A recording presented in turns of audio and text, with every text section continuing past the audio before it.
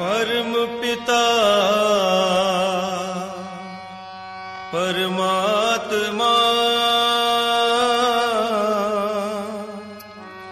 ਕਣ ਕਣ ਤੇਰਾ ਵਾਸ ਕਰਨ ਕਰਾਵਣ ਹਾਰ ਤੂੰ।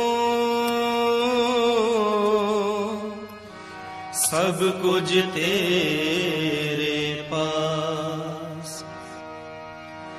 ਅੰਗ ਸੰਗ ਤੈਨੂੰ ਵੇਖ ਕੇ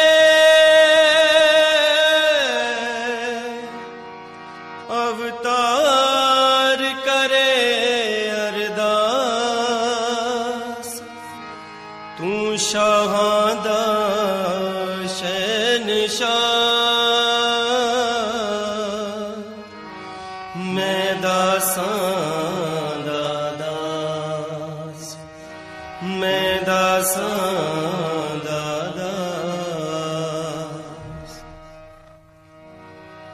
ਹੀ ਸਮਰਥ ਪਰਮਾਤਮਾ, ਹੇ ਨਿਰਗੁਣ ਨਿਰੰਕਾਰ, ਹੇ ਸਮਰਥ ਪਰਮਾਤਮਾ, ਹੇ ਨਿਰ